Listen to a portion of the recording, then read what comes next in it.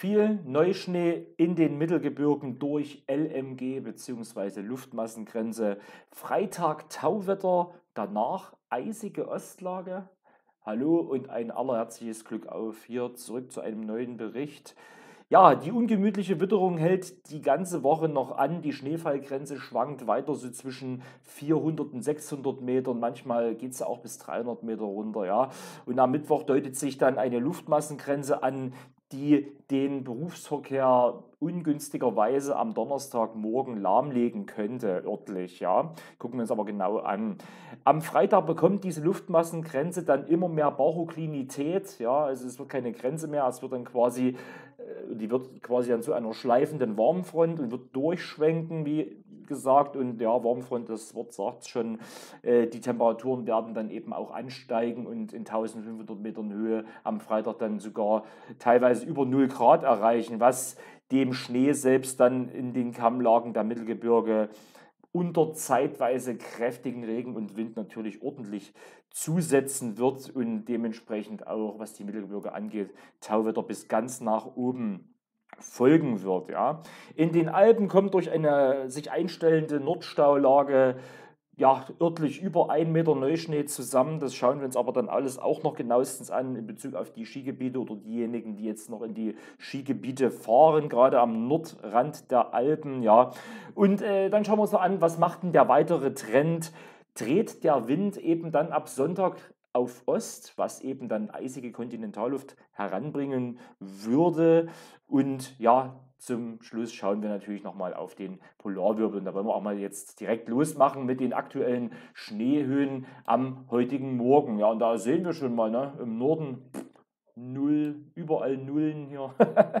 ja, leider Gottes nichts Schnee im Flachland, alles sehr spätherbstliche Allüre, wenn man das mal so möchte. Dann hier der Harz sticht raus der kahle Asten, ja, auch das Erzgebirge, der Thüringer Wald, Fichtegebirge natürlich dann nicht. Ähm, der bayerische Wald natürlich, dann hier Richtung Freudenstadt, auch 20 Zentimeter teilweise. Schwarzwald natürlich und dann eben der ganze Nordrand der Alpen bzw. das Allgäu und der Oberbayern oberhalb von so 600 Metern, teilweise 10 bis 20 Zentimeter Schnee. Und natürlich die Zugspitze mit, ja, was haben wir denn hier überhaupt? Mit 1,60 Meter. Okay. Ja, aber wie gesagt, ansonsten auch Feldberg 88 cm, großer Aber 53 cm, Zinnwald, ja, 35, die Schmücke 31, ja. Und ansonsten Winterberg ist ja am kahlen Asten gelegen, 30 cm Schnee, was ein kleines bisschen ähm, komisch ist für die ein oder anderen, ja. Der Brocken gerade mal 19 cm ist mit Vorsicht zu genießen oder genießen diese Schneehöhe, denn der Brocken ist sehr exponiert. Es gibt dort sehr wenig Bäume und da, da hat es Schneeverfrachtungen bestimmt an der Messstelle gegeben. Dort oben liegt definitiv mehr Schnee als nur, wie gesagt, die 17 äh, Zentimeter hier, die hier angegeben werden. Ja. Beziehungsweise die 19 so.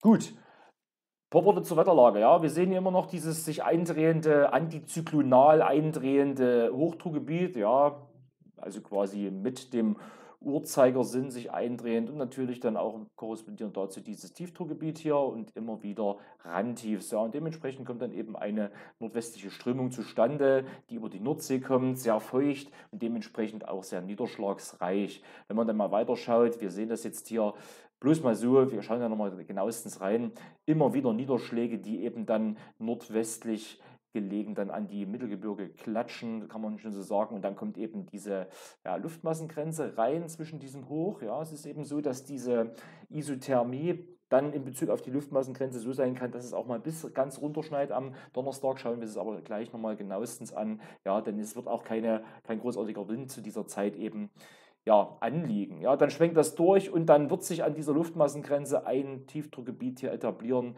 eine Warmfront quasi. Die Luftmassengrenze wird zur Warmfront und dahinter kommt dann auch wieder kalte Luft rein und das wird sehr niederschlagsreich. Ja, aber bis dahin wird auch einiges an Schnee richtig weggelutscht. Ja. Nach hinten raus schauen wir dann weiter. Am Sonntag deutet sich wieder ein kleines Schneetief an und weiter schauen wir dann, wie gesagt. Ja, möchte jetzt noch nicht spoilern.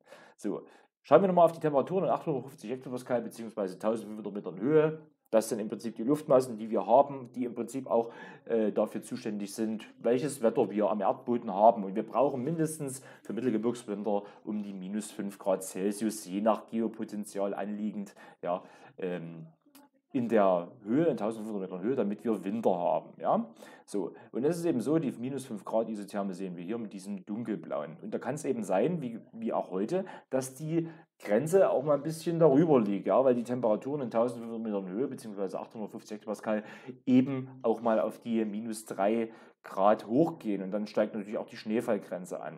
So, dann ist es so, wir schauen das jetzt weiter, wir sind jetzt schon am Mittwoch, oben rechts natürlich immer die Timeline, für wann das eben ist und wir sehen auch so ein ja, Nordost- Südwestgefälle. Hier die minus 5 Grad Isotherme, die zieht sich quer durch Deutschland. Dementsprechend ist es im Nordosten kälter als im Südwesten. Die Schneefallgrenze liegt natürlich dann dementsprechend im Schwarzwald auch viel höher als beispielsweise im Erzgebirge oder im Harz. So, und dann sehen wir dieses große Zentraltief hier. Und das hat hier so ein kleines Randtiefengepäck. Wir hatten das im letzten Video angesprochen. Es handelt sich um ein kleines Polartief mit einem warmen Kern, sich hier über dem oder beziehungsweise sich hier über der Nordsee bildend durch diese kalten Luftmassen in der Höhe. Der Temperaturgradient zur Wasseroberfläche ist eben sehr hoch und dementsprechend ja ein Polartief als Randtief mit ordentlich Isobarendring und dementsprechend auch Wintersturm-Feeling, wenn dann eben dort quasi dieses okklusionsbedingte Tiefdruckgebiet bzw. Mischfront äh, ja also ein Polartief nochmal zur Erörterung bzw. zur Erläuterung ist ein Tiefdruckgebiet ohne Warm- und Kaltfront. Es entsteht eben rein in der kalten Luft aufgrund von ja, warmem Wasser im Prinzip. Ja, und wird dann eben von diesem Zentraltief aufgefangen, hier herumgeführt und wird uns sehr wahrscheinlich in Deutschland bis auf den Nordosten, da kann es dann quasi in der Nacht von äh, Mittwoch auf Donnerstag ein paar Überraschungen geben. Da kann es bis ganz nach unten schneien teilweise. Ja, Polartiefs sind sehr interessant, hat man das letzte Mal gemerkt äh, im Westen des Landes. Da hat es hier unten in der, ähm, wo war das gleich? Ja, äh, ja, im Osten von Frankreich über Nacht 30 cm Schnee gegeben. Ja. Muss es aber nicht so kommen. Aber sehr viel Überraschungspotenzial, will ich damit sagen. Ja. Dieses Tiefdruckgebiet wird uns quasi nicht beschäftigen. Es zieht dann weiter und dann sehen wir schon, aus Westen wird eben ja, um dieses Hochdruckgebiet, was eben hier liegt, hm, Nordsee-Siff, ja, Höhenwärme reingeführt und dementsprechend ja, kann man auch erkennen, seht ihr das hier, die 0-Grad-Linie in 1500 Metern Höhe kommt eben dann am Freitag rein und mit viel Wind, mit, mit Regen. Da wird es bis in die Kammlagen des Erzgebirges und teilweise auch des Bayerischen Waldes sehr wahrscheinlich mal sehen, äh, wie es da bis dahin durchmischt. Kann sein, dass bis dahin auch schon wieder kälter geworden ist in Bezug auf das Timing des Durchschwenkens. Ja, kann es eben dann sein, dass es bis ganz hoch wirklich zu Tauwetter kommt. Aber dort oben, zum Beispiel auf dem Fichtelberg, oberhalb von 1000 Metern, da liegt dann so viel Schnee und der Zeitraum ist so kurz, dass dort wirklich nur mal ein ganz kurzes, wie soll man sagen, Zusammensacken sein wird. Es wird dann äh, wieder anfrieren. Das, das wird ein wunderbarer, ähm, eine wunderbare Basis quasi für die kommende, sehr wahrscheinlich kommende ja, Winterlage, die dann eben ja, ab dem Wochenende folgt oder auch nicht. Schauen wir mal. Ja, wie gesagt, auf jeden Fall sehr gute Basis, was die ganzen Skibetrieb dann angeht. Ja, Richtung Samstag hin dann kann man schon erkennen, ja, ist die Spannung ein bisschen raus. Ein riesengroßer Kältebatzen hier über dem Kontinent. Aber was passiert denn? Das schauen wir uns gleich an. Wie gesagt, jetzt kommt hier dieses Schneetief nochmal rein am Sonntag. Es wird wieder verbreitet kälter, aber wie gesagt, Flachland, Winter können wir uns an den Hut kleben. So, schauen wir nochmal genauestens rein in Bezug auf die Luftmassengrenze. Ja? Wir sehen jetzt hier das GFS-Modell am, äh, ja, in der Nacht von ähm, Mittwoch auf Donnerstag quasi. Da sehen wir schon, wie gesagt, die sich hier etablierenden Luftmassen und auch die ja, wahrscheinlich punktuell, das werden wahrscheinlich so Schauer auch sein, die dann quasi an einer Perlenschnur entlangziehen werden. Und wir sehen eben auch, diese Linie hier ist eben sehr ähm, barotrop. Quasi die Isothermen werden hier mit den Isobaren äh, parallel sein. Das nennt man Barotropie und dementsprechend auch kein Durchschwenken der Front und dementsprechend eine Luftmassengrenze. Ja, und die kommt natürlich dann auch nochmal richtig in die Staulage rein mit dieser Zugbahn, ja, weil die eben so richtig meridional zieht, ja, in Bezug jetzt auf die Isobahn gesehen natürlich, ne, und dementsprechend kann es dann auch hier ums Westerzgebirge sehr, sehr große Niederschlagsmengen in Bezug auf Schnee auch geben. Und gerade hier Dreieck Hochfranken, A9, Münchberg, die ganzen Gebiete, die oberhalb von 600 Meter liegen, Dort wird es teilweise Donnerstag früh, wenn das so kommt, sehr wahrscheinlich nichts mehr gehen, auch auf den Autobahnen. Das könnt ihr euch gleich schon mal äh, eintakten. Ja, wie gesagt, das Polartief interessiert uns überhaupt nicht. Äh, das zieht weg, außer eben der ganz äußerste Nordosten. Hier ist zwar Regen auf der Agenda, aber wie gesagt, es ist in der Nacht.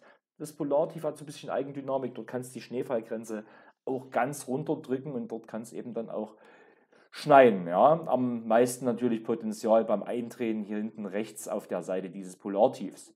Ich rede schon wieder viel zu viel, sehe ich gerade, um Gottes Willen. So, weiter im Text. Das Ding, wie gesagt, ihr seht das jetzt schon, ne? das Ding wird im Prinzip dann, schneidet sich von der Barotropie, geht es immer mehr an die Baroklinität. Wir können das jetzt hier wunderbar sehen. Das Ding ist nicht mehr parallel zu diesen Isobaren und dementsprechend wird es eine schleifende Warmfront, die an den Alpen sehr viel Schnee bringen wird, sehr viele Stauniederschläge. Dann schwenkt das durch und wir können das hier erkennen, dass eben auch bis ins Erzgebirge rein die lilanen Farben weggedrückt werden und ja, sehr viel Niederschlag eben dann auch an das Erzgebirge donnern wird, aber eben in Regenform. Ja. Dort wird sehr wahrscheinlich nichts mit Schnee sein. Erst rückläufig dann Richtung Samstag, wenn die kalte Luft da reinkommt. Dort geht die ganze Geschichte dann wieder in Schnee über. Ja, am Sonntag dann, wie gesagt, nochmal dieses Durchschwenken dieses Tiefdruckgebietes, aber in Bezug auf die Details ist es alles, in Bezug auf die Wetterlage ist es alles noch sehr, sehr unsicher.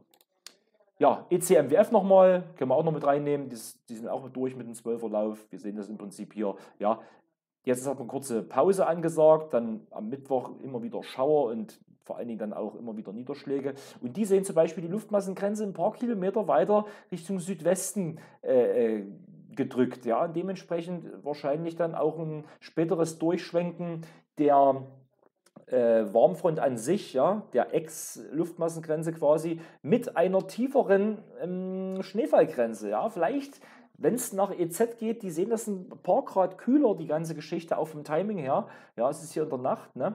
Und äh, da kann es eben vielleicht sogar sein, dass der äußerste oder die äußerste Kammlage des Erzgebirges vielleicht sogar nicht in das Tauwetter reinkommt. Ja, also wie gesagt, aber dennoch äh, sehr viel Niederschlag, was die ganze Geschichte eben angeht. Ja, nach hinten raus Rumgeeier hier, dann kommt wieder ein Tief rein. Am Sonntag, wie gesagt, die sehen das Ding zum Beispiel hier, können wir mal gucken hier, GFS, ne, die sehen eben dieses Tief viel weiter im Westen, ne, mit dem Kern ungefähr hier und EZ, die sehen das Ding viel weiter im Osten. Und das meine ich in Bezug auf die äh, detaillierte Vorhersage äh, laut aktuellem Stand. Das ist absolut nicht möglich. Ja. Das ist so äh, unsicher noch, also so ein großes Rauschen drin. Ja, und ihr seht das halt, das, da brauchen wir jetzt noch nichts groß sagen, aber es sieht eben dennoch dahingehend so aus, dass ähm, am Freitag ja, Milderung reinkommt und eher Siff und wirklich Tauwetter bis recht weit hoch. Aber vielleicht kürzer als man denkt. Man muss schauen. Weiter unten, wie gesagt, Flachland und die lagen bis zu 700 Meter. Da wird es dann schon ordentlich tauen, bin ich der Meinung. Also da sind sie sich schon relativ einig, die Modelle. Ja, der Wind nochmal. Wir sehen das jetzt hier. Wir gehen das auch wieder durch. Oben rechts immer die Timeline für wann das eben ist. Mittwoch, ja, jetzt in der Nacht ein bisschen abflauender Wind und dann morgen schon wieder, ja, ein Aufbäumen des Windes hier oder Auflehnen. Ja, wir sehen das hier, die Luftmassen bzw. die äh, Isobaren, die sind eben sehr dicht aneinander gedrängt und wir sehen das hier die ganzen roten Farben. Das sind so teilweise wirklich Windgeschwindigkeiten von so 60, 65, 70, teilweise auf exponierten Lagen auch 80 Kilometer pro Stunde nicht ausgeschlossen. Also es geht im Prinzip so weiter wie heute. Ja. Gut, in Bezug auf die ganzen Niederschläge natürlich äh, mit dem Flair dazu. Ne? Dann kommt eben ein kleines bisschen mehr äh, Windabflauen rein und wir sehen auch in Bezug auf die Luftmassengrenze, ja, wir sehen das jetzt hier, die Luftmassengrenze schwenkt durch und hier wird es teilweise relativ windstill werden. Und da kann es eben sein, durch starken Niederschlag, isothermisch bedingt, Niederschlagsverdunstungskälte, der fällt einfach runter, kann es eben sein, dass es bis weiter runter wirklich weiß wird im, Be im Bereich der äh, Nicht-Durchmischung, beziehungsweise wo eben dann dort kein Wind ist. Ja? Also das müsst ihr darauf achten. Wenn der Wind einschläft und Niederschläge stellen sich ein, kann es die Schneefallgrenze tatsächlich weiter runterdrücken, als man wirklich annehmen würde. Und dann guckt man nächsten Tag raus und es ist wirklich auch im Flachland ein bisschen weiser. Aber wie gesagt, in Bezug auf die Bereiche hier, Thüringer Wald, Dreieck-Hofhang, Fischgebirge, Westerzgebirge, dort wird es am Donnerstag früh sehr wahrscheinlich eher größere Probleme im Verkehr geben. Ja, schauen wir nochmal auf die Temperaturen. Wir sehen das jetzt hier. Ja, die 0 Grad Grenze, ich gehe das jetzt mal schnell durch, die ist bis zum Donnerstag nur in den Kammlagen der Mittelgebirge zu sehen und in den Alpen. Ansonsten hier Icon zum Beispiel, die Deutschen, die sehen das jetzt im 12er Lauf tatsächlich, wie eben hier die Kälte ja in der Nacht zum Freitag schon bereits eben von Westen weggedrückt wird und selbst plus gerade in den Kammlagen der, der oberen Mittelgebirge eben, ja, in den Kammlagen der Erzgebirge, Bayerischer Wald und so weiter eben dann ja sein wird. Und dann hm, muss man schauen. Na? Die Schneesummen in Bezug auf Kilogramm pro Quadratmeter bis zum Sonntagmittag sehen wir hier mit dem Icon EU-Modell. Teilweise 30, 35 Kilogramm auf den Quadratmeter, sprich so um die 30, 35 Zentimeter Schnee, je nach Taupunkt. Das muss man eben sehen, wo befindet man sich, wie kann das zusammensacken. Natürlich weiter oben, wenn der Taupunkt ähm, größtenteils negativ geblieben ist, dort ist es halt eben so, dass die ganze Geschichte nicht so zusammengesackt ist und dort gegebenenfalls auch ein Faktor 1,2 oder 1,5 genommen werden kann, dementsprechend auch 40 cm bei 30 Kilogramm Schnee auf dem Quadratmeter bei raus oder rumkommen können. Und dann zoomen wir mal rein, schaut mal, was hier unten in den Alpen abgeht. Teilweise 200 Kilo, 200 Kilogramm auf dem Quadratmeter in Schneeform. Mein lieber Herr Gesangsverein, also hier unten gerade so Wilder Kaiser, äh, Saalbach Hinterklemmen, die werden zugeschüttet, bis der Arzt kommt, ja, bis zum Wochenende. Also wenn ihr dort unterwegs seid, stellt euch auf sehr, sehr viele Niederschläge, sehr, sehr viel Schnee oberhalb von 1500 Metern Höhe ein.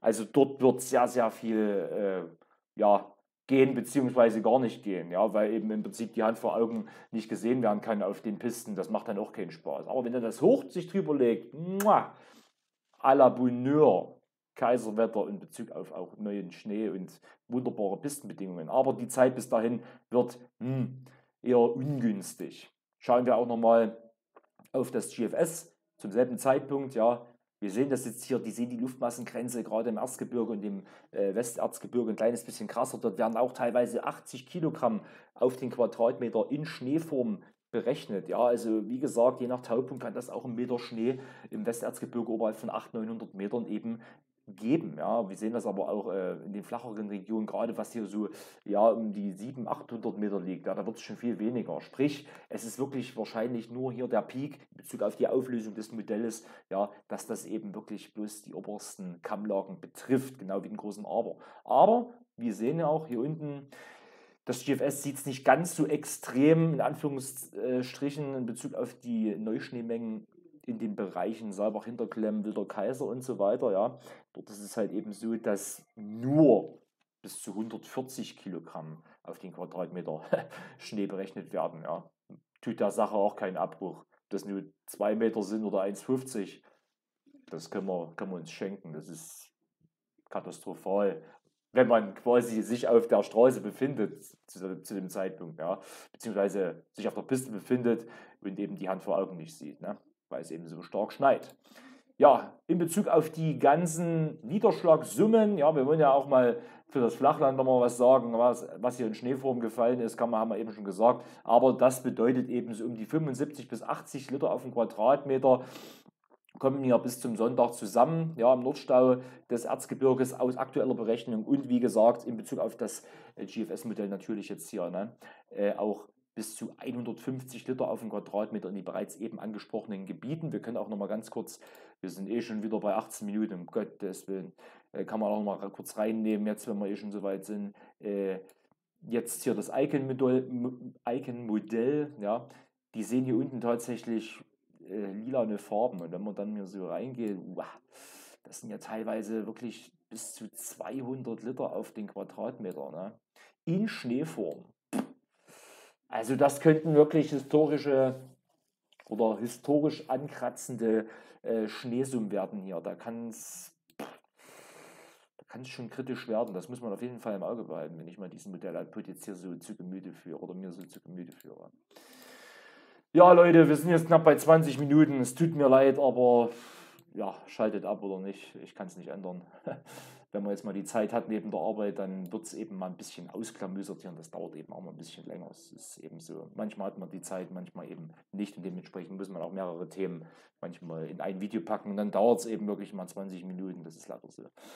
Ja, wir sehen jetzt hier das alte GFS-Ensemble, also die 30 verschiedenen Member in Bezug auf die Graphen bzw. die Berechnungen der 30 verschiedenen Member in 1500 Metern Höhe. Ja, und wie gesagt, wenn alle 30 verschiedenen Member auf einer Linie sind, die wir im Bund finden, ja, dann ist die Prognose sehr sicher und wenn die dann auseinandergehen, ist die Prognose eher unsicher. Ja? Und dementsprechend könnte man vor zwei Tagen, das ist ein altes Ensemble für die Mitte Deutschlands, ja, da kann man eben sehen, dass hier ab dem 4. Februar ungefähr eine Milderung zu sehen ist. Scheiße, Tauwetter, hm, so ein Mist. Und hier einzelne Läufe sehen hier eine kalte Wetterlage. Ja? Viele Niederschlagssignale oberhalb von 500, 600 Metern, die bereits angesprochenen Schneefälle. Nehmen wir das Neue, siehe da, ja, das kann man hier sehen. Es ist eben so, dass die ganze Geschichte hier nach unten gegangen ist, und zwar ordentlich. Die ganzen Graphen haben sich hier nach unten angenähert. Und was steckt denn da für eine Wetterlage dahinter? Tja, schauen wir mal, ja. Nochmal zur Erinnerung, das ist jetzt die Temperatur 850 Hektopascal, sprich die einzelnen Berechnungen für Mitteldeutschland jetzt in Bezug auf die 850 Hektopascal Temperatur. Und dementsprechend auch das, was der Hauptlauf jetzt hier ausspuckt. Der Hauptlauf ist der grüne hier. Den gucken wir uns jetzt an. Und was kommt hier dabei raus? Wir sehen, wie gesagt, nochmal diese Warmfront am Freitag jetzt hier durchschwenkend und dann nach hinten raus. Hier, das Pinke, sind alles unter minus 10 Grad Celsius in 1500 Metern Höhe. Und dementsprechend kommt die ganze Geschichte hier volle Möhre. Hier ist ein Hochdruckgebiet, das ist in Skandinavien hoch, baut sich hier auf. Volle Möhre aus Osten und dementsprechend würde sich hier eisige Luft über die Schneeflächen ja, ähm, etablieren, teilweise minus 15 Grad in 1500 Metern Höhe. Also eine richtige Eisluft und der, die Westdüse würde im Prinzip an dieser trägen Eiskaltluft kaputt gehen. Das, das würde die bei diesem äh, Hochdruckgebiet hier nicht schaffen, durchzubrechen. Wenn wir mal hier gucken, oh, 1054 Hektopascal, das ist ein richtig kräftiges Hochdruckgebiet und da kommt diese publische äh, Westdüse nicht gegen an, wenn das wirklich so kommt. Also das das würde wirklich äh, Ostlage bedeuten. Ne? Ja, und zu guter Letzt natürlich in der 23. Minute äh, der Blick auf den Polarwirbel. Wir sehen hier die Strömungen in 10 Hektopascal beziehungsweise in 35 Kilometern Höhe ungefähr. Ja. Und das Blaue ist richtig viel Dampf. Und das Gelbe ist eher weniger Dampf. Und da können wir schon erkennen, wo der Polarwirbel sich befindet. Der befindet sich ziemlich genau am Nordpol. So, aber was man auch noch sehen kann, hier oben seht ihr im Prinzip am 60. Breitengrad die Summe aller quasi U-Vektoren in Bezug auf die Rotation. Alles, was, äh, ja, wie gesagt, am 60. Breitengrad, das ist ungefähr jetzt hier, ja, und umso mehr die Drehung quasi über dem 60. Breitengrad, über dem Nordpol liegt, umso schneller, beziehungsweise umso mehr Dampf, umso besser aufgebaut ist eben der Polarwirbel. Und dann kann es eben sein, dass, die, dass der Speed abnimmt. Jetzt baut er, noch, baut er sich nochmal auf, weil er eben ziemlich genau über, der, über dem 60. Breitengrad eben liegt. Ja, alles top sozusagen. Und dann ist es so, dass sich das Ding nach hinten raus ein bisschen mehr in Richtung Kontinent bzw. nach Russland verkrümelt und der Dampf auch nachlässt. Ja? Bloß noch ein Meter pro Sekunde in Bezug auf den 60. Breitengrad hier. Denn es ist so, hier mit der Strömung, ja, also das ist quasi auch äh, zyklonale Eindrehung auf der Nordhalbkugel, ja, ist ja ein Tiefdruckgebiet der Polarwirbel und in Bezug auf den 60. bzw. auf den U-Vektor am 60. Breitengrad ist hier eben als einziges bloß noch der Bereich, wo sich die Strömungen eben überlappen, was eben positiv werden könnte. Und hier ist es dann so, dass die ganze Geschichte umkehrt. Durch dieses Hochdruckgebiet drehen sich eben die U-Vektoren und dementsprechend hebt sich das auf und der Dampf nimmt ab und dementsprechend ja, könnte es eine Labilisierung des Polarwirbels ja, gegen Ende Februar tatsächlich dann auch wetterwirksam im wetterwirksamen Bereich eben geben. Ja, ich hoffe, ihr könntet mir jetzt folgen. Ich habe sehr, sehr viel Input euch jetzt gegeben. Es war eigentlich wieder nicht meine Absicht. Aber es ist eben nur manchmal so, das macht mich eben aus. Ich nehme die Sache sehr genau. Und wie gesagt, Larifari-Wetter könnt ihr woanders gucken. Das gibt es bei mir nicht. Bei mir geht es synoptischer rein. Und wem das nicht gefällt, der muss es sich ja auch nicht angucken. Ja? Es ist keine Dienstleistung, es ist mein Hobby. Und wer daran was ja, der daran teilhaben möchte, der kann das gerne tun. Ansonsten Gibt ja auch noch andere Kanäle. Ne? Gut, das sollte es gewesen sein. Ich wünsche euch noch einen schönen Abend. Bis später, wenn ihr möchtet. Ich melde mich natürlich. Ja. Glück auf und ciao.